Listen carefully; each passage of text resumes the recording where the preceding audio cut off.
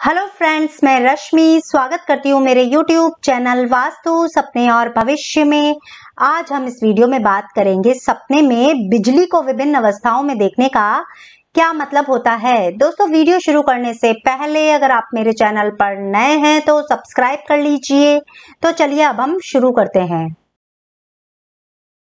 सपने में करंट देखना या बिजली में स्पार्क देखना बताता है कि आप कोई नया कार्य करेंगे या आप वर्तमान में कोई ऐसा काम कर रहे हैं जो असफल होगा और यह सपना योजनाओं के विफल होने, निराशा, कार्यों में रुकावट के आने, स्वास्थ्य खराब होने और दुर्घटना का संकेत देता है।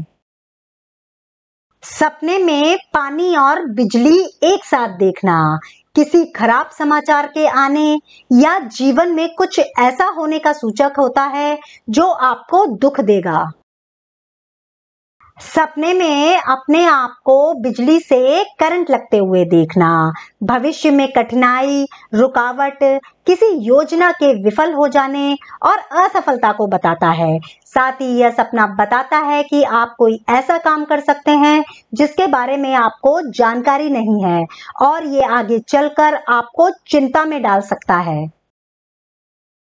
सपने में बिजली से आग लगते हुए देखना, आपके अंदर की थकान, बहुत अधिक कार्यों के बोझ के होने, जिसकी वजह से आप परेशान हो रहे हो, ऐसा संकेत देता है।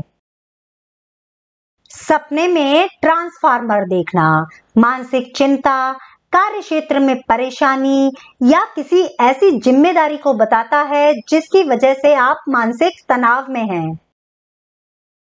आज के लिए बस इतना ही। अगर आपको मेरा ये वीडियो पसंद आता है तो please like, share and subscribe ज़रूर कीजिए।